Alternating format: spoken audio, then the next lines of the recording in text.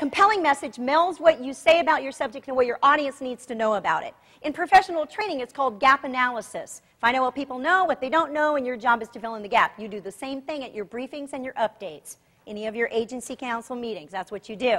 So you start off by having this happy sun. It's called mind mapping or webbing. In the middle of this, you would put a word or a concept that is going to be the focus of your presentation, whatever that it might be. If it's health, if it's children, whatever it would be. Then, and psychologists have told me the brilliance behind this, start in the upper right hand corner and you start writing a word on the line and then, right on the line, and then you rotate your piece of paper. The paper will turn to the left as you are writing to the right, so you're just spinning it around. This is how your bright brain works. So the creativity. You would not start off using a one of the yellow pads of paper that has the lines. How many of us have used that? It's the fastest way to brain freeze. Because our left brain kicks in, it's like, oh, must be logical, must put things in order. Input, input, need input. No. Instead, slide over to the right brain where the creativity is. And you can do like what Albert Einstein did, is to find food to crunch on. So celery, popcorn, pretzels, because it releases the happy hormones inside of the body. Chocolate works for me too. It helps though. because then you can have more mental clarity in what it is that you're doing. Then you write down all of your free flowing thoughts. Now, again, Smart Draw software does this. They have complete mind mapping and turns it into your slide presentation. It's brilliant. The U.S. Navy uses this, and that's how I found out about it, doing programs for the Navy. One of my other colleagues, Thomas Leach, says capture the essence of the talk in one complete statement. Again, what is that compelling message that needs to be delivered? Beginning with that, then circling around it. And as you're creating your presentation, if things don't relate back to it, delete it. How many of us, when we're, we're getting ready to give a presentation, we have so much more that we want to say than we have time? I always do. I always have more slides than what I have time for. You know, that's being, that's being prepared. Then after you do your mind map of those free associations, onto the next page, I've given you a worksheet of how to organize it into an outline format. And the key tips that I want to share with you here is that your time-wise, your introduction is 10% of your presentation. Your conclusion is 10% of the presentation time-wise. And 80% is the body of the presentation.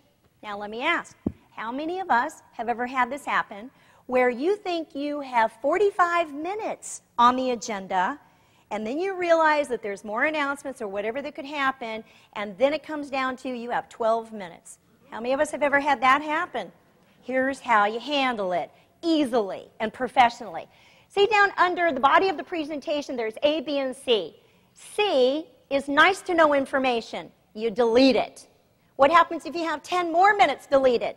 You delete need to know information, which is B, and then you only give them the A information with your main points. Bingo, that's it. And then you still bring it back to your closing of your presentation. So you go from your mind mapping to the outline.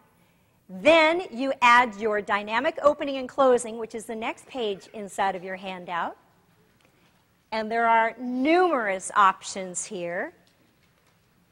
You bring it back together, and then you put it into your seven multiple intelligences, your checklist of the seven with those ideas, which may have come up on your mind map. You bring them over. Now you have a complete presentation, and you begin with the end in mind and build backwards. Can I have a woohoo? it's never been so easy to prepare a presentation. You need to bring to it. The larger the audience, the more you need to play with the audience because they'll give you energy back. Have fun with it. People want to be played with. They do. They just, it's like, make me laugh. you know, let me have some fun with that. The larger the audience, the larger the graphics need to be. Often, the larger the audience, the longer the laughs are. Hopefully, you're getting them. And you need to pause for those and not step on the laughter because laughter is a connector. And the more serious your subject, the more you have got to sprinkle some humor in it. A couple of the other questions then. What about staying on point? Billboard, if you want to make a couple of notes. So now that you've got the outline from your, on, a, on an index card, say 5 by 7 or 4 by 6, you would write three words. And it's One word on each line as if they are bullet points. Billboarding is a concept that comes from acting to help people remember their lines. You can now walk into a meeting with only billboard on your white screen in your mind and have just those three key points, and you'll be able to stand up and deliver concisely. Index cards, the slides as a reminders. You know, you can use your slides to boost along or to have visual aids that people need to see.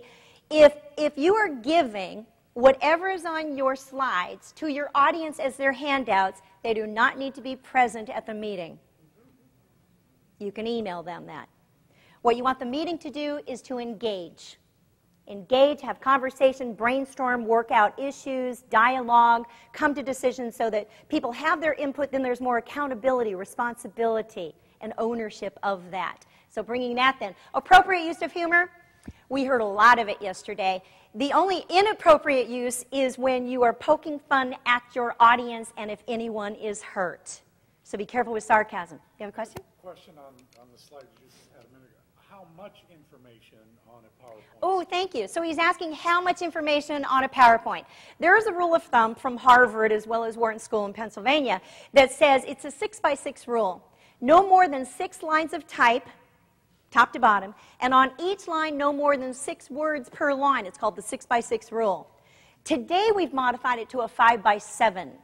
So, no more than five lines of type, no more than seven words per line. If you have more than that, break it up and cut down each individual thought and create them into their own slide. What people can't handle is overload. Break it down, Keep it simple. That's a great question. So five by seven would be ideal. Graphics in the upper left-hand corner is also the best thing to do. So have some fun with humor because as Dwight Eisenhower said it himself, a sense of humor is part of the art of leadership and getting along with people of getting things done. Humor brings people together. Find ways that you can do that because we need to laugh. We need to laugh a lot. How much do you think that the average three or four year old laughs today? Yeah, it, uh, according to psychologists, I think, who have no life, they counted 500 times a day that these four and five year olds would laugh. How much do you think that adults like you and I laugh in the course of a day? Yeah, not enough. Yeah. It's 10 to 12 times. What's really sad, it's not even a real life. It's a good one, Chief.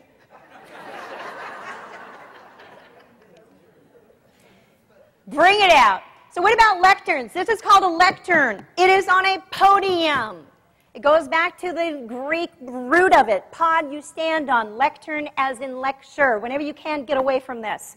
My style is heart to heart. I love to be on the floor. Even when I'm speaking to 5,000 people in the Salt Palace Arena following Thurl Bailey at a conference, I'm on the floor. Granted, he has two feet over me. I'm on the floor. I want to be with people. So this is a lectern. It has its proper place in formal meetings. That's what I'm going to say about that. Otherwise, it separates you from your audience. It has it, Robert's Rules of Order, parliamentary procedure. Yes, it needs to be led with this and with a gavel. We don't really do that in the county. The eighth floor may for their meetings. so podiums, be careful about that. Risers, risers are typically podiums. Microphones, I am wearing a a fairly invisible lavalier microphone, and it's fed through my sweater around to the back so that you are not seeing cords. If you, if you never, ever need to speak with one of these, be careful of the cord hanging out because you could grab it and it would make quite a scene and damage the equipment. You've got the best person back here, Tony, handling everything for you. And a slides, slides are to support your presentation, not be the presentation. And my tip here is what happens if technology fails you? What happens if? And she was masterful in how she handled that. Would you agree? So let's give it up for Linda. You got it. You got it. You need to be able to give your complete presentation without the slides. You never know when anything's going to happen. Today I brought three different backups for the system, plus all the cables that I needed, plus backups for those, plus a flash stick if we needed to switch from Mac over onto PC, plus two different remotes. Have backups to your backups. Because if something's going to happen, it will. it will. Just be prepared for it. What about photos then? This is Spanky. Check out the heart on her neck from the San Diego Wild Animal Park. So what about photos then? Keep them large. Same thing with any of your graphics. The larger the audience, the larger the graphic needs to be, and on the upper left-hand side or left-hand side is going to be the best. Use graphics, have fun with transitions. This is a before from one of my clients, SDC Technologies in Irvine. And I said, just by tweaking that, it will be much more visible and professional for your audience to see. We also saw Yogi using great slides yesterday with his quotations right across it. So in, here's what happens subliminally, visually, it's anchored in our head about the Blue Angels. Then we capture the concept. Linguistics need to have the words on there. Visual linguistic. Then he would also read it or allude to it. Often he paraphrased, which goes back to linguistic as well, yet creating a conversation and not reading the slide. So it was very brilliant in how he did that. Questions and answers. I think that the best time to handle these is how they flow in your presentation. If you can, during the presentation when people are hot on that particular area before it moves on. How do you do this in your meeting? When you get to the end of that particular segment in the meeting, call for questions right there. Get someone timing it where you've got three minutes, you've got a timer, three minutes to handle Q&A at this time. At three minutes, bingo. A bell is sounded and you move on. It could be that after your entire presentation, then you can open up for more Q&A there too. Make sure to monitor your time though because what people don't like are presentations going over time. Now, what do you do to practice? The best answer to controlling any type of nervousness is preparation and rehearsal. One of the best places that I have practiced for the past 25 years is at Toastmasters. Raise your hand if you're a Toastmaster or ever been one, ever been a member. You got it. Because this is a great place, it's a safe environment to practice your presentations.